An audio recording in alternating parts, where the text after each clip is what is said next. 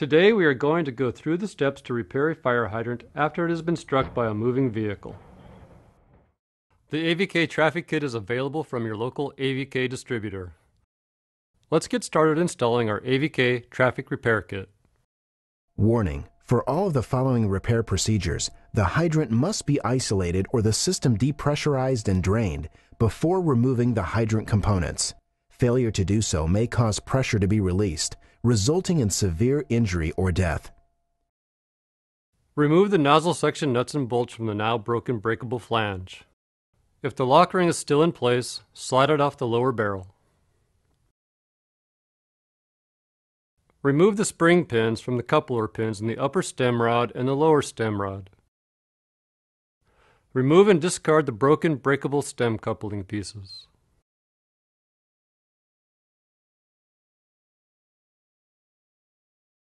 Place the nozzle section on the lower barrel to facilitate removing the upper stem. Remove the weather shield retaining bolt with a 5 16 or 8 mm hexagon key.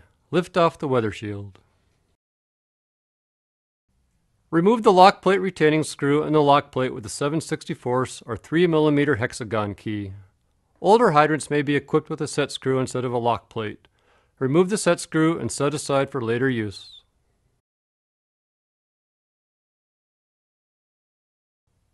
Remove the thrust nut using the AVK operating wrench and rotating counterclockwise.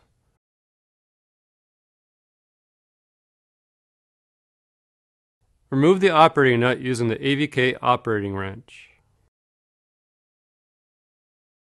Remove the upper anti-friction washer. Turn counterclockwise for open left hydrants and clockwise for open right hydrants. Remove the lower anti-friction washer and set aside with the operating nut.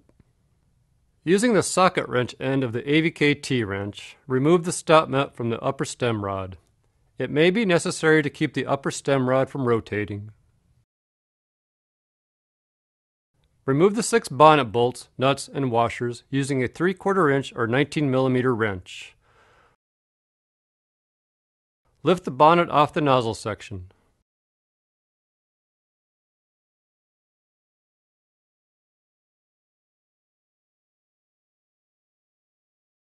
Remove the upper stem rod carefully to avoid damage to the stem seal O-rings. Lift the nozzle section off the lower barrel and place it on the ground. Reconnect the upper stem rod to the lower stem rod with the new coupler pins, new breakable stem rod coupling, and secure with spring pins. Slide a new breakable flange over the lower barrel. Be sure the breakable flange is right side up, indicated with the text, this side up. Then install a new lock ring under the groove in the lower barrel.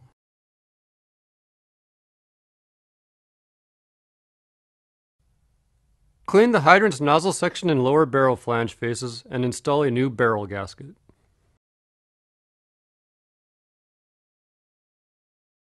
Lift the hydrant nozzle section assembly over the upper stem rod and carefully place the assembly on the lower barrel and barrel gasket. Check for correct alignment of the barrel gasket and reinstall the nozzle section mounting hardware finger tight.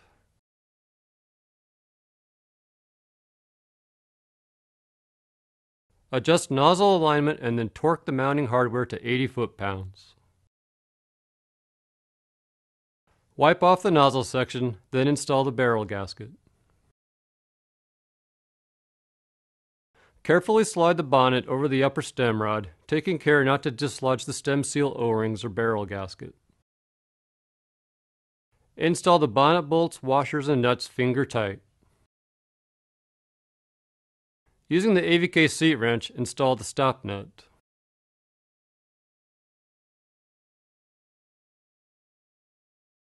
Place one anti-friction washer on the top and bottom of the operating nut thrust collar.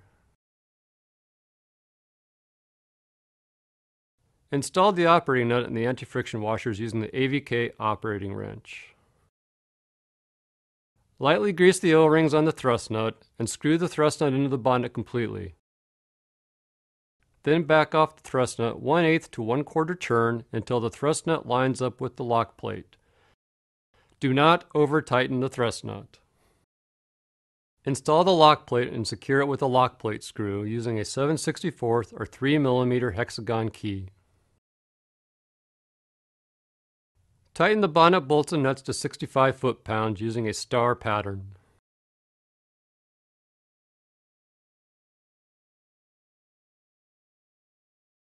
Install the weather shield and the weather shield bolt using a 5 16 or 8 mm hexagon key. After reassembly is complete, open and close the hydrant completely. Open the isolation valve. Test the hydrant for leaks. We have successfully repaired our AVK dry barrel fire hydrant with an AVK traffic repair kit.